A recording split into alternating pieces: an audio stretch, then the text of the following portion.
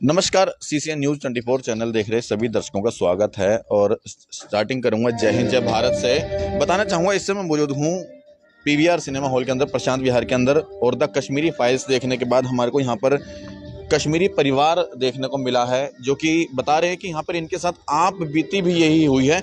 Live जानने की कोशिश करेंगे क्या बात हुई है? क्या नाम है आपका? My name is Ramesh Raina ji Ramesh ji कहाँ से बिलोंग करते हैं आप? मैं श्रीनगर से बिलोंग करता हूँ। जी। और मेरे जो जहाँ मैं रहता हूँ उसका उसका नाम है नेठीपोरा एरिया छानापोरा। जी। अ, अभी आप मुझे बता रहे थे कि हमने हकीकत में ये सब हाँ, देखा है। जेला है बिल्कुल जेला है। हम सुबह के चार बजे निकले हैं घर से अलॉन्ग विद फैमिली और हमें ये था कि हम नहीं बच पाएँगे यहाँ पे। आज हुआ कि वो ran away from the valley early in the morning सुबह चार बजे। और हमें हमें वहाँ पे, वहाँ के जो लोकल्स हैं, जो टैक्सी ड्राइवर्स हैं दे आर ऑल मोहम्मडन्स तो वो हमें उन्होंने बोला, हम आपको नहीं लेके जा, हमें ये मारेंगे यहाँ पे। हाँ प्लीज़ हम हम आपको नहीं, हम, आप खुद जाए जहाँ जाना है। देन माय फादर उनके कोई गरीब वो दोस्त हैं, वो मुसलमान हैं, उनके पास गए। ड्राइवर था टैक्सी ड्राइवर हाथ जोड़ के यार हमें तुम हमें आप टूरिस्ट सेंटर छोड़ दो। बस वहाँ देखेंगे हम। हमें आप लाल चौक छोड़ दो। तो उन्होंने कहा कि नहीं मुझे मारेंगे मुझे यहाँ पे सारे खत्म कर देंगे यहाँ पे। आप प्लीज़ अच्छा चलो आप घर पहुँचे। मैं भी हम सुबह के चार बजे वो नमाज़ पढ़ने गए थे मस्जिद में। जी। तो वहाँ पे वो उन्होंने भाई कोई भी कश्मीर अगर यहाँ से भाग रहा है कोई कश्मीरी पंडित भाग रहा है उसको कहीं अगर कोई हम हमने देखा उसको कहीं भी आप ले जा रहे हो हम आपको शूट करेंगे। आप चार बजे का जो मुझे समय बता रहे हैं वो कब के चार बजे? वो किस दिन? आज कल किस तारीख नहीं नहीं सुबह के चार बजे ये बात है हम वहाँ से निकले हैं अप्रैल में 1990 में 1990 की बात है ये। हम्म, हम्म, हम्म। 1990 के बाद हम तब निकले वहाँ से सुबह चार बजे निकले जब वहाँ पे नाले तदबीर अल्लाह अकबर हो रहा था जब वहाँ बोले थे हम यहाँ जितने भी कश्मीर पड़े थे उनको मारे और मारा भी हमारे पड़ोस को मारा है बिल्कुल। उसके घर से उनके घर पे गए हैं वही दोस्त पाँच छह दोस्त पहले निकाला उसको घर से बिट्टू नाम था उनका वो निकाला उनको घर से। और घर पे वो ले गए पता नहीं कहाँ ले गए वो नो फिर वो शाम तक नहीं आया लेकिन शाम को फिर उनको वापस घर पे छोड़ा है। हमने कहा चलो थैंक गॉड ये ज़िंदा आ गया वापस आ गया। फिर पचास रुपये दे दिया। वो वो वही वाज ऑटो ड्राइवर उनके पास ऑटो अपना था। फिर उसके बाद नेक्स्ट डे वही मुसलमान चार पाँच दोस्त वहीं आ गए उन, उन, उनके घर पे। फिर ले गए वो फिर बाद में नहीं आया वो। फिर मैं और मेरे कज़न हम गए यार वो बिट्टू कहाँ गया? हम गए बाईपास एरिया है नौगांव बाईपास हम वहाँ तक स्कूटर पे। वहाँ देखा उसकी डेड बॉडी पड़ी थी। उसको जो स- ये जो है ना सिगरेट ऐसे लगाया बुझा दिया और चाकू से सह और बिल्कुल पड़ा वो वो सारे लोग वहाँ थे। हम दो मैं और मेरा कज़न हम डर गए कि सारे मुसलमान हमें हमें मारेंगे। हम चुपके से गए उनके घर। हमने उनको बोला भैया ऐसा है आपके भाई की आपके वो वो डेड बॉडी वहाँ पड़ी हुई है। आप वहाँ उनको जाके ले जाओ। वो खुद भी उनके फादर उनके ब्रदर वो खुद डर रहे थे कि हम अपने भाई की डेड बॉडी नहीं उठा पाए वहाँ पे वो। क्योंकि वो उनको भी वहाँ पे वो मार उनको भी डर था। हाँ उनको भी डर था। फिर वो थाने में गए। थाने में भी उन्होंने बोला पुलिस हम कुछ नहीं करेंगे। आप खुद कर लो। देन वी डोंट नो क्या हुआ। मतलब पुलिस प्रशासन को भी डर था। बिल्कुल। पुलिस भी उनके साथ नहीं गई। नथिंग कुछ भी नहीं गई।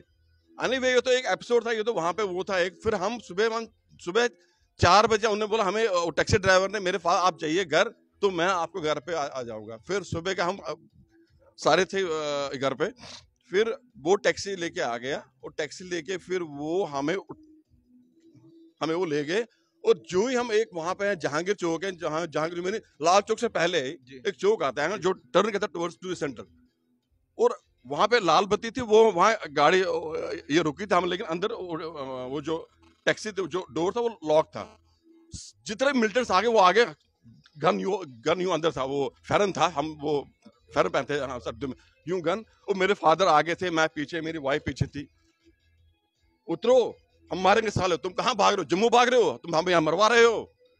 फिर इन द मीटर यहाँ से एक और अच्छा गाड़ी आ, एक और आगे तो फिर वहाँ से मिलने मैंने यहाँ यहाँ से लेके चलो ये अपना वहाँ मंदिर है वहाँ से वहाँ से लेके चलो। फिर वहाँ से लेके, फिर वहाँ लाल चौक उतरे, लाल चौक उतरे तो वहाँ हो रही थी फायरिंग हमने फिर वापस सामान क्या था? दो सूट केस थे हमारे पास। फिर हम गए टूरिस्ट सेंटर फिर भाई, उन्होंने बोला मैं आगे नहीं जाऊँगा मैं आपको टूरिस्ट सेंटर टूरिस्ट सेंटर में आपको छोड़ दूँगा। फिर वहाँ टूरिस्ट हम छोड़ दे फिर हमने सोचा हम हम यहाँ पे सेफ़ हैं। फिर वहाँ कई सारे कश्मीरी हिंदू थे जो जो कह रहे थे हम जाना है जुम्मू जुम्मू कोई ट्रक में गए कुछ कुछ में गए कुछ कुछ में गए। ये हमारे साथ आप भी थे हमारा दास्तान थी ये। मतलब सारा मंजर आपने देखा है। आँखों से देखा बिल्कुल जो 19 जनवरी की रात थी वो तो बिल्कुल पूरे सारे थ्रू आउट द वैली नाले तदबीर अल्लाह अकबर सब निकल गए सारे के सारे निकल गए पूरे। हमें पता था बस आज हमारी रात ही खत्म है। बट वहाँ पे जगमोहन थे। जगमोहन अगर हम आज ज़िंदा भी कोई भी कश्मीरी पंडित थे it's only because of Jagmohan. It's only because of Jagmohan. Jagmohan ji कौन है? थोड़ा उनके बारे जगमोहन थे जगमोहन थे J and K governor. He was he was appointed as a governor there तो वहाँ पे वो थे जगमोहन। और जगमोहन ने क्या करा? Throughout the throughout the day and night वो कर्फ्यू चल रहा था। लेकिन सुबह के चार बजे वो डील देते थे पाँच बजे। कि भाई आप लोग ये जो मोहम्मद से वो नमाज़ पढ़े यहाँ से जितने भी आप लोग निकल जाओ। हाँ वहाँ से ये वहाँ से सेफ़ रास्ते से निकल जाए अपना वहाँ पहुँचे वो वो जम्मू वो हमने किया। आपका नाम क्या है? इन्होंने बोल उसका भी है। ठीक है। Wife. जी ये देखिए यहाँ पर ये हस्बैंड वाइफ हैं और आप बीते इन्होंने अपनी बताई है कि किस तरह से इन्होंने जो है कश्मीर को छोड़ा है। या कश्मीर से इनको भगाया गया है। इनको छोड़ा नहीं कहेंगे, इनको ज़बरदस्ती भगाया गया कहेंगे, क्योंकि इनके ऊपर कहीं ना कहीं वो जुल्म जो यहाँ पर द कश्मीरी फाइल्स के अंदर अभी आप लोगों ने यहाँ पर देखा, उसके अंदर वो सेम आप बीती उस रात की कहानी इन्होंने देखी है और वहाँ से किस तरह से ये लोग सेफ़ कहें या सुरक्षित कहें, अपने आप को बचाकर यहाँ पर पहुँचे हैं।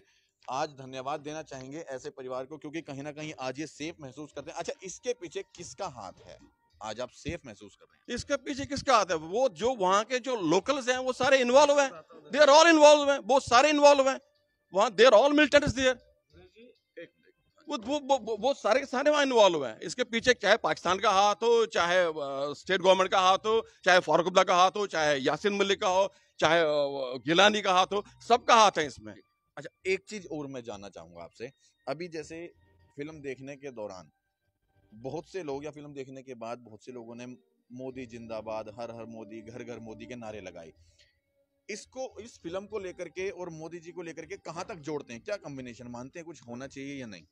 नहीं देखिए कम्युनिस्ट अगर बात कर रहे हैं कि बिकॉज़ हमने काफ़ी सफ़र किया वो सफ़र लॉट आप अगर अगर मोदी जी को स्टेप उठा रहे हैं वो तो सबके लिए उठा रहे हैं हमारे लिए भी उठा रहे हैं। अगर आर्टिकल थ्री सेवन हटा दिया वो सबके लिए हमारे लिए भी अच्छा है कि हाँ, ठीक है ठीक है। बट आज तक किसी ने हिम्मत नहीं करी ना आर्टिकल थ्री सेवन ये हटाने के लिए। This is only Narendra Modi जिनने कि आर्टिकल थ्री सेवेंटी हटा दिया बिकॉज़ उनको पता है कि क्या क्योंकि वो गए क्योंकि वो गए गए हुए थे उनको पता है कि क्या हो रहा है कश्मीरी हिंदुओं के साथ क्या हो रहा है कश्मीरी पंडितों के साथ। दैट्स वो he knows each and everything about Kashmir. ये चीज़ें हैं। ठीक है। चलिए मेरे को आपसे बात करके वाकई बहुत अच्छा लगा और क्योंकि कहीं ना कहीं आपने जो है उस चीज़ को आप बीती जो इन्होंने देखी है वो बयां की है। क्योंकि जिसने उस चीज़ को देखा नहीं है या जो अभी तक कश्मीर में नहीं गया है या जो कश्मीर से आया नहीं है वो सिर्फ़ इस फ़िल्म को देखने के माध्यम से एक सिंपैथी उसके अंदर ज़ाहिर हो सकती है वो भावुक हो सकता है या वो अंदाज़ा लगा सकता है कि इस तरह का हुआ होगा। लेकिन इन्होंने क्या नाम बताया था आपने मुझे? रमेश रायना। जी रमेश रायना जी हैं जो कि कश्मीर से यहाँ पर पहुँचे थे और आप बीते इन्होंने बताइए। चलिए आप लोगों को ये दुख जो है इन्होंने अपना बताया है वो कैसा लगा? यह लगता है आपको कि वाकई में पाकिस्तान ने या पाकिस्तानियों ने हम पर जो जुल्म ढाया है या कश्मीर के पंडितों पर जो जुल्म ढाया है वो वाकई खौफनाक था या वो दर्दनाक था? तो इस खबर को ज़्यादा से ज़्यादा शेयर ज़रूर करें। जय हिंद जय भारत। भारत मातरम वंदे मातरम। वंदे मातरम।